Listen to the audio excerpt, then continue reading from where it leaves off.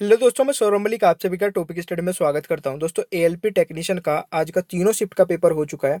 अभी इस वीडियो में हम डिस्कस करने वाले थर्ड शिफ्ट के कुछ क्वेश्चंस जो हमें मिले हैं। तो प्लीज़ इस वीडियो को पूरा एंड तक देखेगा जो दोस्त अब तक चैनल के साथ में नहीं जुड़ा है तो नीचे रेड कलर का बटन दबा करके खुद भी जुड़िए और अपने सभी दोस्तों को बताइएगा। बेलाइकन को ऑन रखिएगा। बेलाइकन ऑन रहेगी तो आपके पास नोटिफिकेशन पहुँचते रहेंगे। मैथ का दो से तीन रीजनिंग का नौ से दस और जी का लाइव टेस्ट चलता है डेली रात को ग्यारह बजे। और देखिए दोस्तों, मैं अकेडमी की लर्निंग ऐप पे भी पढ़ाता हूँ। यहाँ पे मैंने बहुत सारी मैथ की वीडियो अपलोड की। अगर आपको वीडियोस देखनी है अकेडमी का लर्निंग ऐप डाउनलोड करके, वहाँ पे सौरभ मलिक सर्च करके आप मुझे फॉलो कर सकते हैं और उन सभी वीडियोज़ को देख सकते हैं। तो चलिए स्टार्ट करते हैं आज की वीडियो को। प्लीज़ वीडियो को पूरा एंड तक देखिएगा। अगर समझ में आए तो लाइक और शेयर ज़रूर करिएगा। और अगर आपने अभी तक फ़र्स्ट शिफ्ट का एनालिसिस और सेकंड शिफ्ट का एनालिसिस नहीं देखा है तो नीचे डिस्क्रिप्शन बॉक्स में आपको दोनों शिफ्ट का एनालिसिस की वीडियो का लिंक मिल जाएगा, वहाँ पे देख सकते हैं फिर इस वीडियो को पूरा एंड तक देखिएगा, दो वीडियो आपको यहाँ पे मिल जाएगी, ठीक है? यहाँ पे पहला क्वेश्चन है first state to implement GST पहला स्टेट कौन सा था जिसने इस जीएसटी को इम्प्लीमेंट किया था, वो हो जाएगा असम राइट आंसर फिर नेक्स्ट था आपका रणजी ट्रॉफी किस खेल से संबंधित है? तो ये राइट आंसर क्या हो जाएगा? क्रिकेट, ठीक है? नेक्स्ट आपका यूएसए किस कॉन्टिनेंट में है? तो ये देखिए, बहुत ही सिंपल सा क्वेश्चन है नॉर्थ अमेरिका में सभी को पता होगा। फिर एक नेक्स्ट था आपका एक्ट्रेस हैविंग फॉरेन सिटीजनशिप यानी कि यूके की सिटीजनशिप किस एक्ट्रेस के पास में है? तो ये आलिया भट्ट इसका राइट आंसर हो जाएगा। ठीक है? नासकॉम की फ़र्स्ट लेडी चेयरमैन कौन है? तो ये हो जाएगा Debjani Ghosh is the right answer ठीक है? नेक्स्ट आपका क्वेश्चन है सीईओ ऑफ़ एडोबी देखिए सेकंड शिफ्ट में भी क्वेश्चन पूछा गया था। इसका राइट आंसर हो जाएगा Shantanu Narayen is the right answer ठीक है? नेक्स्ट आपका था Razia Sultan belong by which dynasty यानी कि रजिया सुल्तान किस डायनेस्टी से बिलोंग करती थी? ये हो जाएगा माम मामलुक डायनेस्टी ये जो कि दिल, दिल्ली सल्तनत की जो पूरी आपकी डायनेस्टी थी उसमें एक ये मामलुक डायनेस्टी थी उसमें ये बिलोंग मतलब कि उस डायनेस्टी से बिलोंग करती थी, ठीक है? नेक्स्ट आपका काला रत्ना अवार्ड दिया जाता है, आंध्र प्रदेश में दिया जाता है काला रत्ना अवार्ड ये भी आपका सेकंड शिफ्ट में सॉरी थर्ड शिफ्ट में क्वेश्चन पूछा गया था। बेकिंग सोडा का फॉर्मूला पूछा गया था तो क्या हो जाएगा? N A H C O three is the right answer फिर ग्लूकोज का भी फॉर्मूला पूछा गया था। आपका देखिए अलग अलग शिफ्ट में क्वेश्चन पूछे जाते हैं। ऐसा नहीं होता कि एक ही पेपर में तीनों चारों ये पूछ लिए जाते हैं। एक शिफ्ट में पूछ लिया गया सॉरी एक शिफ्ट में बोल रहा हूँ किसी स्टेट में पूछ लिया गया होगा बेकिंग सोडा का, फिर किसी स्टेट में पूछ लिया गया गया होगा ग्लूकोज का, ठीक है? तो ग्लूकोज का क्या हो जाएगा? C six H one two zero six is the right answer ठीक है? Atmospheric pressure measure by barometer ये आपका राइट आंसर हो जाएगा। बैरोमीटर से मेजर किया जाता है एटमोस्फेरिक प्रेशर ठीक है? एक क्वेश्चन आपका यहाँ था difference between enzyme and hormone तो यहाँ पे देखिए दोनों अलग अलग होते हैं। ये ऑप्शन को देखकर ही आपका एग्जैक्ट आंसर आप यहाँ पे बता सकते थे। यहाँ पे मैं बता देता हूँ हार्मोन जो होते हैं hormone are related by the glands into the bloods ठीक है? तो ये ब्लड में जो आ, आपके फ्लो होता है उसको हम हार्मोन बोलते हैं और एंजाइम इज़ द डिफरेंट जो कि हार्मोन इससे अलग होता है। पीरियोडिक टेबल से रिलेटेड आपका एक क्वेश्चन था। ठीक है, एक क्या कई क्वेश्चन थे तो पीरियोडिक टेबल से एक्चुअल में क्वेश्चन नहीं पता चला कि कौन सा क्वेश्चन था बट आप देख सकते हैं कि बहुत सारे क्वेश्चन पीरियोडिक टेबल से पूछे जा रहे हैं। यहाँ वॉशिंग सोडा का भी फॉर्मूला पूछा गया था N A two C O three is the right answer ठीक है? कौन के मिरर से भी क्वेश्चन था, अब एक्चुअल में क्वेश्चन नहीं पता है कि क्या क्वेश्चन था कौन के मिरर से बट एक क्वेश्चन था इससे भी, ठीक है? देखिए क्वेश्चन था आपका group number seventeen in periodic table देखिए ग्रुप नंबर सेवनटीन में देखिए पीरियोडिक टेबल से मैं बता रहा हूँ, आपको बहुत क्वेश्चन आ रहे हैं। तो सेवनटीन जो ग्रुप है पीरियोडिक टेबल में, वो उसमें क्या क्या आता है? उसमें एफ़ यानी कि फ्लोरीन सी आई यानी कि chlorine B R means bromine और आई मीन्स आयोडीन और ए टी मीन्स एस्ट्रोइन ये आपका हो जाएगा। इसमें तो इनमें से आपको देखना था कि कौन सा यहाँ पे पूछा गया था, ठीक है? एक था वेनेगर यानी कि आपका सिरका मेड फ्रॉम विच एसिड तो बहुत ही सिंपल हो जाएगा एसिटिक एसिड ठीक है?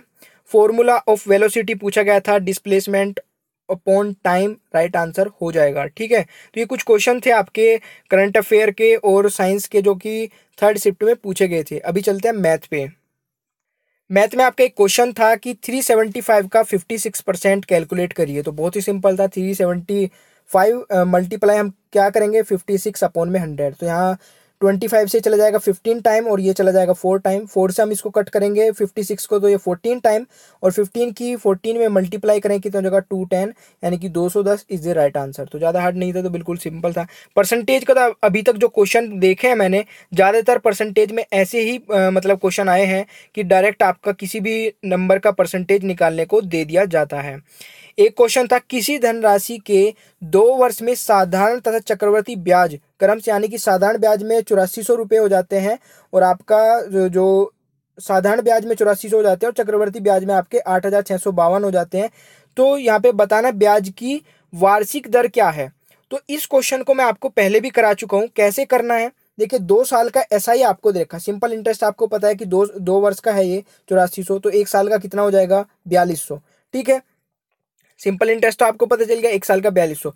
अब यहाँ पे ब्याज पे ब्याज वाला जो कॉन्सेप्ट है फ़र्स्ट ईयर में आपका जो यहाँ पे इसमें रहा होगा सी आई वो भी सेम रहा होगा और यहाँ पे भी। क्योंकि फ़र्स्ट ईयर में चाहे सिंपल इंटरेस्ट हो, चाहे आपका कंपाउंड इंटरेस्ट हो, वो सेम रहता है।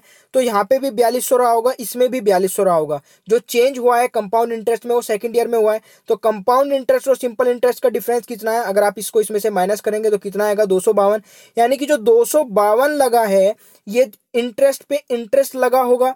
और फ़र्स्ट ईयर में फ़र्स्ट ईयर में इंटरेस्ट कित, कितना रहा होगा? कंपाउंड इंटरेस्ट में भी और सिंपल इंटरेस्ट में भी वो आपका बयालीस ही रहा होगा। तो ये जो दो सौ बावन कैलकुलेट हुआ है दो सौ बयालीस पे हुआ है सॉरी चार हज़ार दो सौ पे हुआ है ठीक है बयालीस सौ पे हुआ है। तो यहाँ पे आप इसको सिंपल इंटरेस्ट से कैलकुलेट कर सकते हैं सीधा सीधा ठीक है? एसआई का फॉर्मूला लगा सकते हैं आप। एस आई बराबर P into R into T upon में हंड्रेड ऐसा ही आपको पता चल गया कितना है? दो सौ बावन। किस पे कैलकुलेट हुआ? ये आपका चार हज़ार दो सौ पे। टाइम कितना है? एक वर्ष का है, आर आप निकाल सकते हैं तो बहुत ही सिंपल बन जाएगा। तो यहाँ पे आप टू फिफ्टी टू लिख सकते हैं। पी आपका चार हज़ार दो सौ हो जाएगा। आर आपका लिख सकते हैं बिल्कुल वैसा का वैसे या फिर एक्स लिख लीजिए कुछ भी और एक साल की बात की गई है टाइम की तो यहाँ पे वन ईयर लिख देंगे अपॉन में हंड्रेड तो यहाँ पे सीधा सीधा इसको कट करेंगे हम ज़ीरो से दो ज़ीरो कट हो जाएगी। क्रॉस मल्टीप्लाई करेंगे तो कितना हो जाएगा? आर बराबर आपका टू फिफ्टी टू अपॉन में फोर्टी टू तो फोर्टी टू से टू फिफ्टी टू को कट करेंगे सिक्स परसेंट आ जाएगा आपका राइट आंसर देखिए अभी आ, आपको अगर यहाँ पे समझ में अच्छे से नहीं आया वैसे मैंने ये सारे क्वेश्चन कवर करा रखे हैं आपको ऑलरेडी तो अगर आपके यहाँ पे अच्छे समझ में नहीं आया तो मुझे कमेंट बॉक्स में बताइएगा, क्योंकि ये अभी जो ग्रुप डी का एग्ज़ाम होने वाला है, उसमें भी ये बहुत इंपॉर्टेंट रहने वाला है इस टाइप के क्वेश्चन ठीक है? तो मैं दोबारा से आपको कवर करा दूँगा।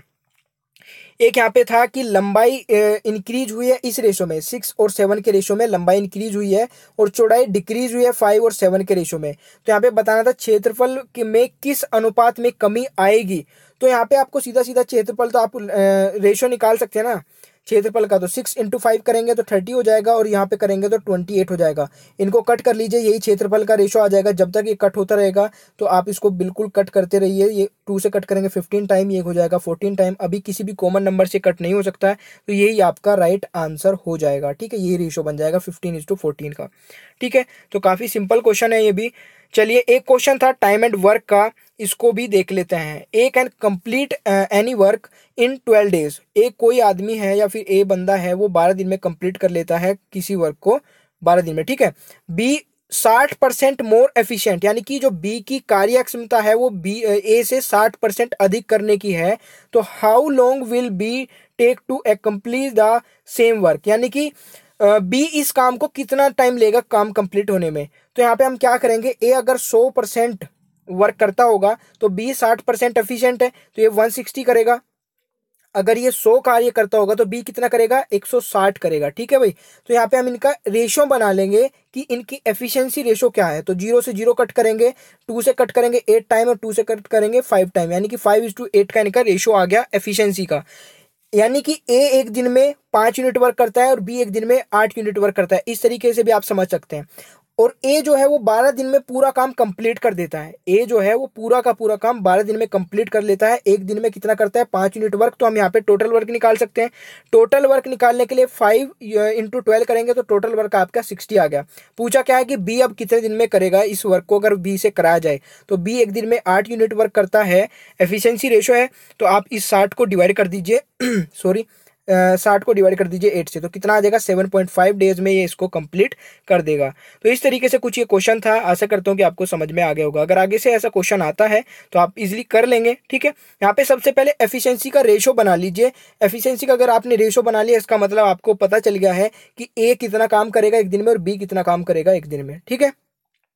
चलिए देखिए, मैं आपको चैप्टर बता देता हूँ, ज़्यादा क्वेश्चन नहीं मिल पाए मैथ के। टाइम एंड वर्क से क्वेश्चन आ रहे हैं प्रॉफिट एंड लॉस से एवरेज से परसेंटेज से एज से मैंसुरेशन से टिग्नोमेट्री से भी क्वेश्चन आ रहे हैं। फिर यहाँ पे एचसीएफ हो गया एलसीएम हो गया, ठीक है? स्क्वायर रूट मीन मीडियम से भी आपके क्वेश्चन आ रहे हैं। तो आप एक बार ये सारे चैप्टर को देख कर जाएगा एक हाँ पाई चार्ट से भी क्वेश्चन आया था आज। आ, अभी थर्ड शिफ्ट का नहीं पता है बट सेकंड शिफ्ट में पाई चार्ट से भी क्वेश्चन था। तो आप देख के जाइएगा पाई चार्ट का भी एक दो क्वेश्चन वैसे मैंने कवर करा रखे हैं। अगर आप उनको देख लेंगे तो वहाँ से अच्छे से कवर हो जाएगा। ठीक है? अभी एक दो क्वेश्चन और देख लेते हैं। रीजनिंग का रीजनिंग के सबसे पहले मैं चैप्टर बता देता हूँ आपको। इस लोगिज्म से चैप्टर क्वेश्चन आ रहे हैं मिरर इमेज से आ रहे हैं नंबर सीरीज़ से क्वेश्चन आ रहे हैं फिगर से आ रहे हैं फिगर के कई तरीके के क्वेश्चन आपके आ रहे हैं ठीक है कैलेंडर से आपके क्वेश्चन आ रहे हैं ब्लड रिलेशन से क्वेश्चन आ रहे हैं अल्फ़ाबेट सीरीज़ से आ रहे हैं कोडिंग डिकोडिंग से आ रहे हैं एनोलॉगी से आ रहे हैं अभी शायद या तो कोई बता नहीं रहा है बट यहाँ पे स्टेटमेंट कंक्लूजन के क्वेश्चन आज कम सुने हैं ठीक है तो स्टेटमेंट कंक्लूजन से बहुत सारे क्वेश्चन आ रहे थे मैं ये नहीं बोलूँगा कि आपको पढ़ के नहीं जाना है जिनका एग्ज़ाम है कल और परसों ज़रूर पढ़ के जाइएगा कुछ नहीं पता है थोड़ा बहुत चेंज हो रहा है बाकी इतना चेंज नहीं हो रहा है। बट आज ज़्यादा सुनने को नहीं मिला है कि स्टेटमेंट कंक्लूजन से ज़्यादा क्वेश्चन आए हैं। ठीक है? तो एक दो क्वेश्चन और हैं, ये भी देख लेते हैं। एक क्वेश्चन था आपका इस तरीके से एनोलॉगी का twenty seven sixty five sixty four और आपका नेक्स्ट पूछा था क्या आएगा। तो यहाँ पे क्या चल रहा है? देखिए, सबसे पहले जो हम इसका करें तो ये थ्री का क्यूब हो जाएगा ट्वेंटी सेवन ठीक है? यहाँ पे क्या है? फोर का क्यूब प्लस वन किया गया है। तो फोर का क्यूब कितना हो जाएगा? सिक्सटी फोर प्लस वन तो सिक्सटी फाइव आपका यहाँ पे आ जाएगा। फिर नेक्स्ट आपका सिक्सटी फोर हो जाएगा। किसका? फोर का क्यूब फिर नेक्स्ट आपका किसका आना चाहिए? फाइव का क्यूब प्लस वन यानी कि यहाँ पे देखिए नेक्स्ट नंबर का क्यूब किया गया था। तो यहाँ पे भी नेक्स्ट नंबर फाइव आ जाएगा। फाइव का क्यूब करेंगे। कितना हो जाएगा? एक सौ पच्चीस प्लस एक। तो एक सौ छब्बीस आपका यहाँ पे आ जाएगा। एक सौ छब्बीस इज़ द राइट आंसर ठीक है भाई? एक आपका श्लोक का क्वेश्चन मिला है तो श्लोक का क्वेश्चन कैसा था? सम लोयन इज़ टाइगर कुछ लोयन आपके टाइगर है, सबसे पहले आपने लोयन बनाया और कुछ कट किया तो कुछ टाइगर हो गए। सम टाइगर इज़ मंकी तो आपने कुछ टाइगर का फिर एक ऐसा पार्ट कट किया और वो मंकी हो गए। ओल मंकी इज़ एलिफेंट तो सारे के सारे मंकी एलिफेंट हो जाएँगे। इस तरीके से आपने इसको कवर कर लिया है। ठीक है? तो यहाँ पे कुछ इस तरीके से अभी देखिए चारों, तीन, चार ऑप्शन थे, वो एक्चुअल में नहीं पता चले हैं। बट यहाँ पे देखिए, एक ऑप्शन शायद ये था कि सम लोयन इज़ एलिफेंट तो एलिफेंट और लोयन का तो कोई रिलेशन ही नहीं है। तो सम लोयन इज़ एलिफेंट कैसे हो सकता है? ये नहीं हो सकता है। जब तक किसी के बीच में कोई स्टेटमेंट ना दी जाए तो आप उसको बिल्कुल भी हंड्रेड परसेंट नहीं मान सकते हैं। यहाँ पे बोला जाता है कि सम लोयन इज़ एलिफेंट मतलब सम लोयन एलिफेंट हो सकते हैं तो वो वाली कंडीशन में आप राइट कर सकते थे, ठीक है? सम मंकी इज़ एलिफेंट तो मंकी तो सारे के सारे ही आपके एलिफेंट है तो सम भी हो सकते हैं, ये आपका राइट आंसर हो जाएगा, ठीक है? तो ये क्वेश्चन थे आपके रीजनिंग के मैथ के और कुछ साइंस और करंट अफेयर के। अगर आपने वीडियो यहाँ तक देखी तो प्लीज़ वीडियो को लाइक शेयर करिएगा। और कल की वीडियो का भी एनालिसिस देखने के लिए चैनल को सब्सक्राइब करके बेल आइकन को ऑन कर लीजिएगा। ग्रुप डी वालों के लिए कंटिन्यूसली मैं आपके वीडियो अपलोड करनी स्टार्ट करूँगा। फ़र्स्ट सेप्टेम्बर से तो आप ध्यान रखिएगा, फ़र्स्ट सेप्टेम्बर को एक बार चैनल पर विज़िट ज़रूर करिएगा। टाइमिंग और सब कुछ मैं आपको बताने वाला हूँ फ़र्स्ट सेप्टेम्बर को, ठीक है? अभी दो दिन और पेपर एनालिसिस है, आप भी देखते रहिए। अगर ग्रुप डी वाले बच्चे वीडियो को देख रहे हैं तो उनको मैं बता दूँ कि आप भी ये सारी वीडियोज़ देखते रहिए, आपके लिए भी बहुत हेल्पफुल रहने वाली है, क्योंकि इसी कुछ पैटर्न में आपका क्वेश्चन आने वाले हैं, ठीक है? चलिए फिर मिलते हैं नेक्स्ट वीडियो में। ग्यारह बजे आप ज़रूर आइएगा। ग्यारह बजे से ऑनलाइन टेस्ट स्टार्ट होगा, अगर आपके पास नोटिफिकेशन ना पहुँचे तो तब भी आ जाइएगा। वीडियो को देखने के लिए बहुत बहुत धन्यवाद। आपका दिन शुभ हो